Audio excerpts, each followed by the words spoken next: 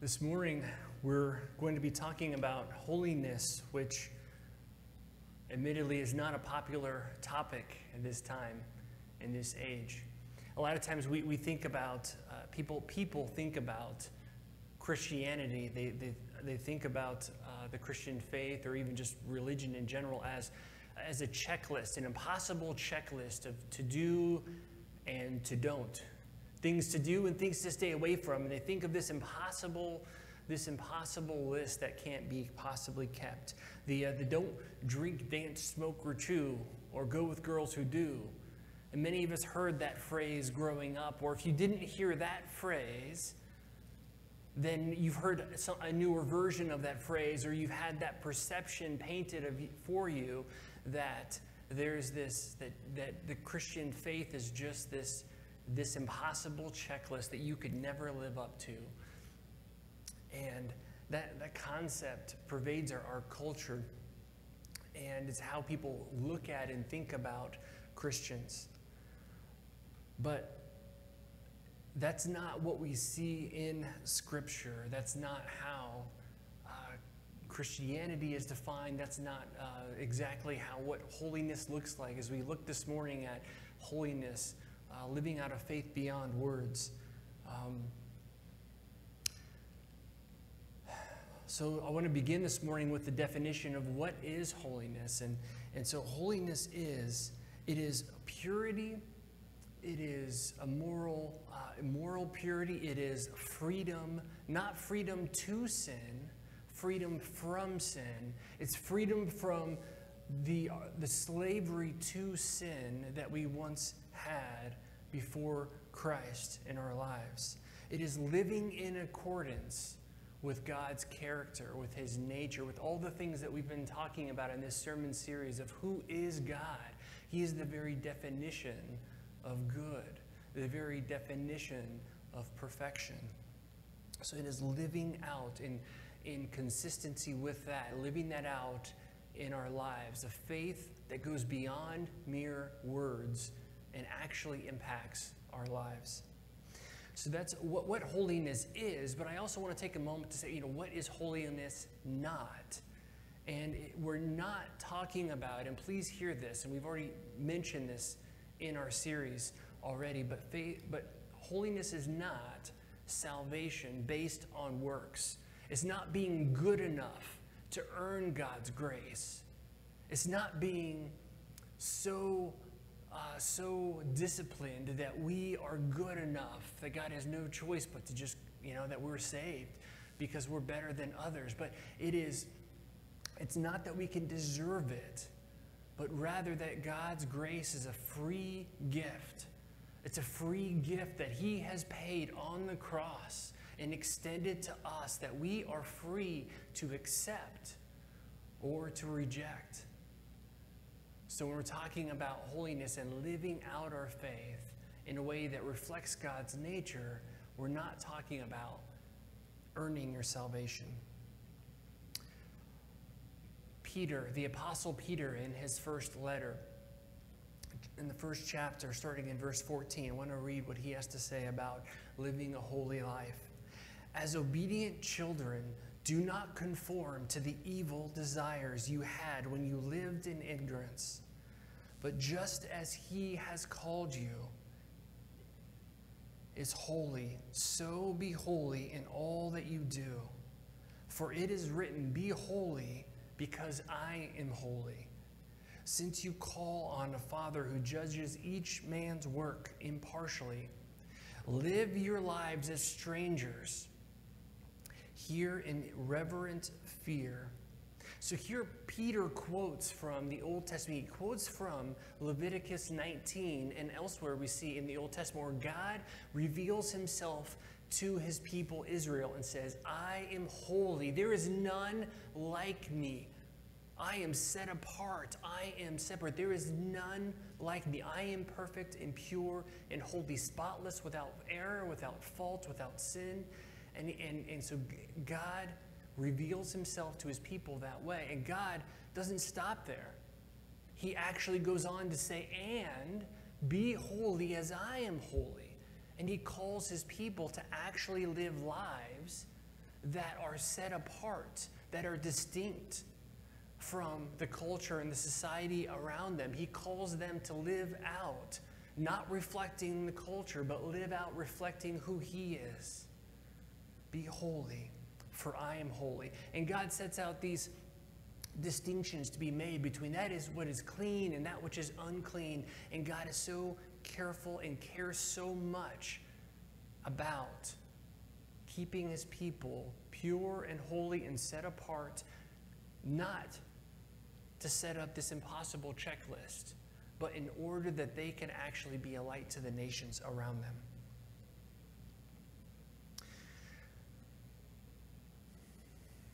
See, God hasn't just called his people to some, uh, to some special knowledge, to just know something or believe something, but he's called them to actually live a new life.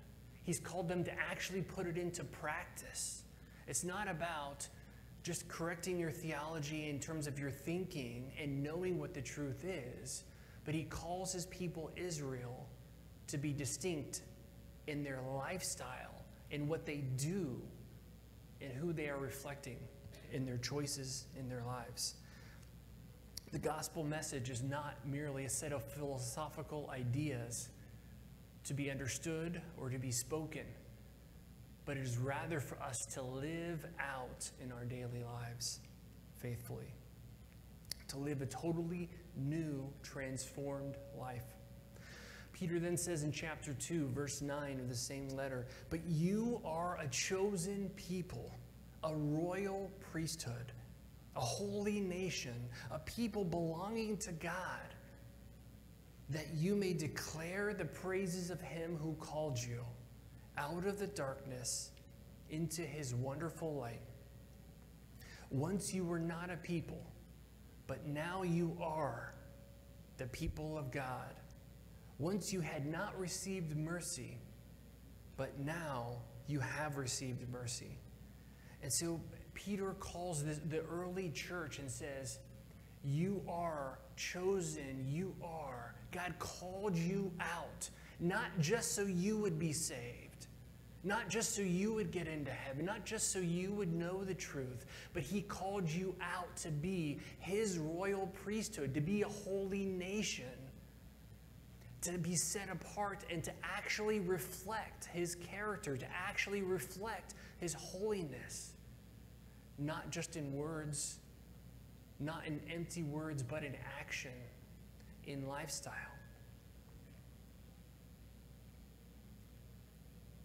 He calls us to live a life that shouts that shouts the gospel, the truth of the gospel message it's not enough to come here and sing praises on Sunday mornings and then go home and live lives that, that reflect the culture and not the gospel truth. It's not enough to just give God one hour a week and to put on your Christian hat and say, okay, I, I, I played church, so I'm good for the week. That God has not called us to that. He has called us to actually live out lives that reflect His light into the darkness around us. That He's called us to be a holy nation, a chosen people. Not based, a nation that's not based on race, it's not based on, on what we look like or where we come from, but to be uh, His holy nation who's, who faithfully pursues living lives that please Him and that reflect Him to people who are in desperate need of the light that we have within us as Christ followers. Continuing on, dear friends, as I urge, I urge you as aliens and strangers in the world to abstain from from sinful desires which wage war against your soul. Live such good lives among the pagans that though they accuse you of doing wrong, they may see your good deeds and glorify God on the day he visits us. So he's called us to live lives that other people will look at and recognize and see something different in the way that we live, to see the hope that is in us, and see that we're not just a group of people, a social club that have decided to play church on Sundays, but that we are radically changed, transformed people who not only speak the gospel, but live it out in our lives. That God has called us to not just know the truth, but to live his truth. He offers us more than true statements. He offers us more than merely good ideas, more than just offering who, is, who He is.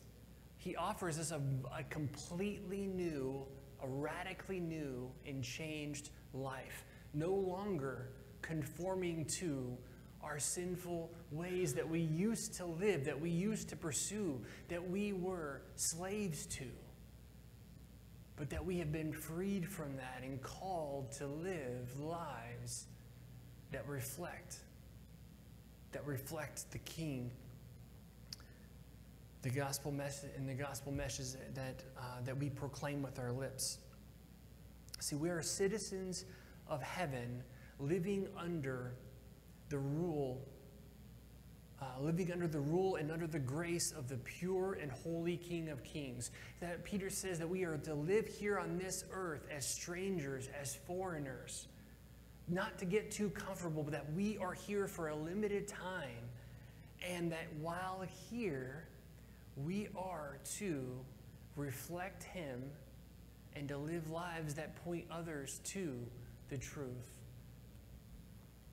as we, have talked about, God could have just once we accept Him and once we accept the truth, then He could transport us into heaven. But that's not how it works. We're still here amidst this broken world. Not because God can't do it without us, but because He has called us to be His people. He has called us. If you remember God's call to Abram, when he promises him that he will be a father of many nations and he will bless him and his descendants after him. He doesn't just say, okay, Abram, I'm going to bless you and your children for their sake because I like, I like you guys. No, he blesses Israel in order that they can be a blessing to all nations. He says that through you, all nations will be blessed. He doesn't call out this, this one nation and say, okay, I just prefer you guys. I like you guys. No, he calls them to be his hands and feet, to shine his light to every, all the nations around them. The prophet Ezekiel. Actually, before I, I get to Ezekiel, I want to I, I want to pause for a moment and say, you know, when we're talking about living lives that reflect Jesus, that reflect the truth and the gospel that we speak, that we, that we teach, that we say with our lips. The weight that our lives carry in the, the lives of the people around us. You know, Mahatma Gandhi once said, I like their Christ, but I don't like his Christians. Because you Christians are so unlike the Christ that you profess.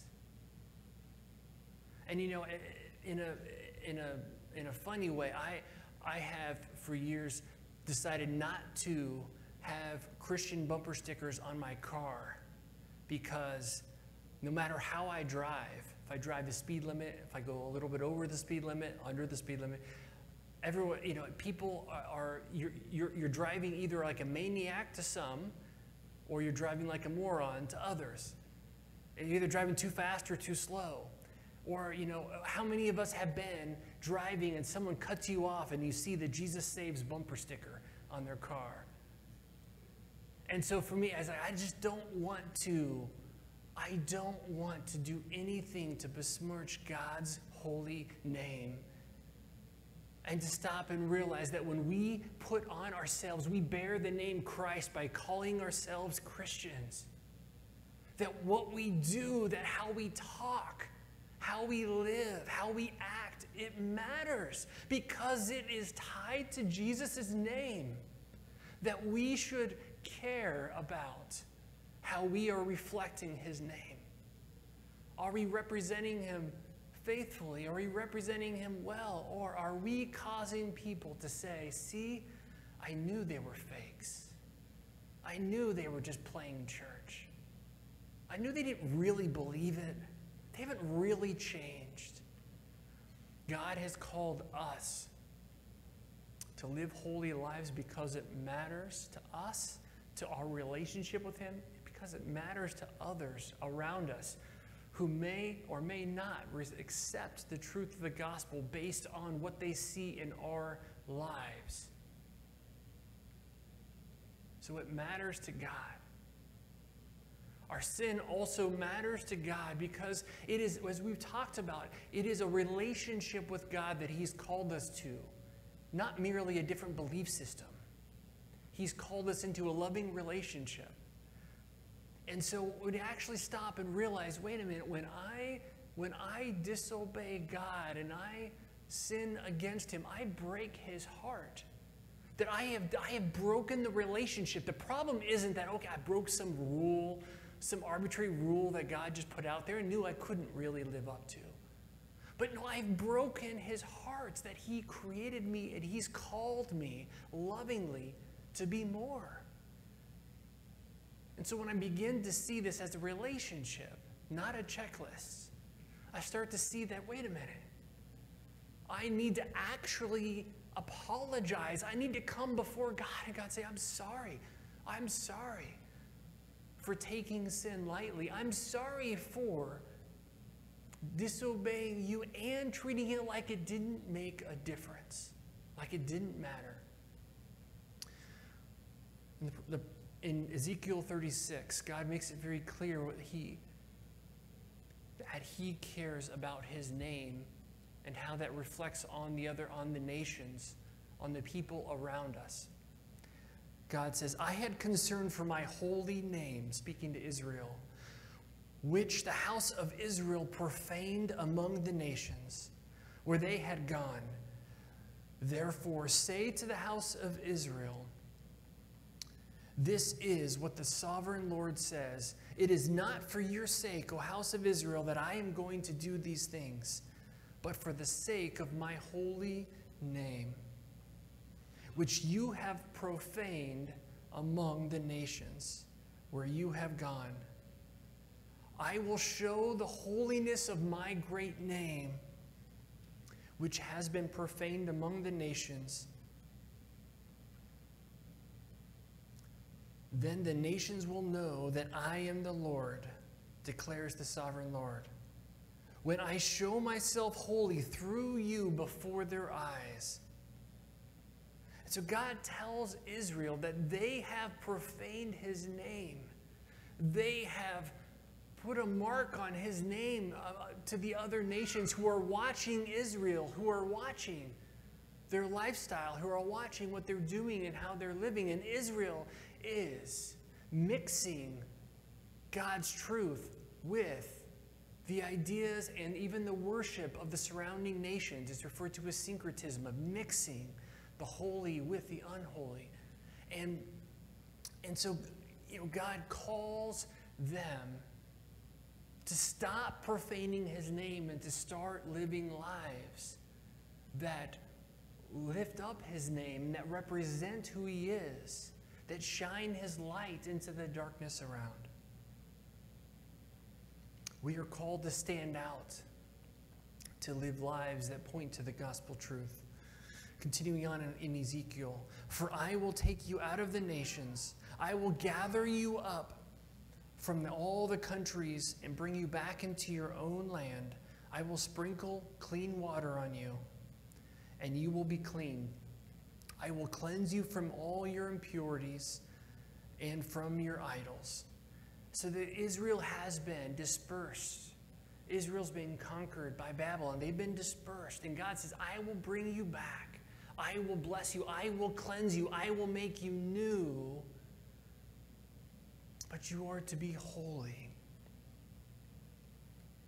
Continuing on, he says, I will give you a new heart and put a new spirit in you. I will remove from you your heart of stone and give you a heart of flesh. I will put my spirit in you and move you to follow my decrees and be careful to keep my laws. So God promises to remove their hearts of stone and to give them renewed, restored hearts of flesh. And He promises to give them His Spirit. See, God doesn't just create this, this, this checklist and say, do this, don't do this, and sit back and say, I knew you couldn't do it. And just sit back and, and judge them. But no, God gives us His Spirit to empower us to live lives that reflect Him, to abstain from sin, to accurately represent Him. Not on our power, not because we're so good, not because we're so strong, but because He is. Because He has offered us His strength and His power to live holy, transformed lives. And that is what we're talking about when we're talking about holiness. We're not talking about pulling ourselves up from our bootstraps and, and, and living good, perfect lives because, again, we are so good. But it is being so connected to and so reliant on God's Spirit to empower us to live lives that reflect Him accurately, that shine His light. Continuing on in Ezekiel, he says, You will live in the land I gave your forefathers, and you will be my people, and I will be your God. I will save you from all your uncleanness. I will call for the grain and make it plentiful, and will not bring famine on you. So God calls his people, tells them he is holy. He calls them to likewise be holy. He tells he calls us to stop profaning his name, but to actually receive his spirit. Allow him to renew us from the inside out, change our hearts and our lives. And he promises to bless, to bless us when we do that. I want to, in closing the service, I want to come back to the verse that we that Rana opened up with this morning from Romans. Romans chapter 12, verses 1 and 2 Paul says to the early church, Therefore, I urge you, brothers, in view of God's mercy, to offer your bodies as living sacrifices, holy and pleasing unto God. This is your spiritual act of worship. Offer your bodies as pure and holy to God, pleasing unto God. This is your spiritual act of worship continuing on, do not conform any longer to the pattern of this world, but be transformed by the renewing of your mind. Then you will be able to test and approve what God's will is, his good, pleasing, and perfect will. And so the question this morning is Are you living a life that you can? place on the altar before God and say, God, this is my gift to you. With the limited time, with the limited resources, with the limitations I had here on this earth, this is my offering before you. May be pleasing in your sight. Lord, I want to give back to you what you have given me and blessed me with. You've called me to be a royal priest, to change my life, to be changed from the inside out. And so this morning, regardless of where you've been, regardless of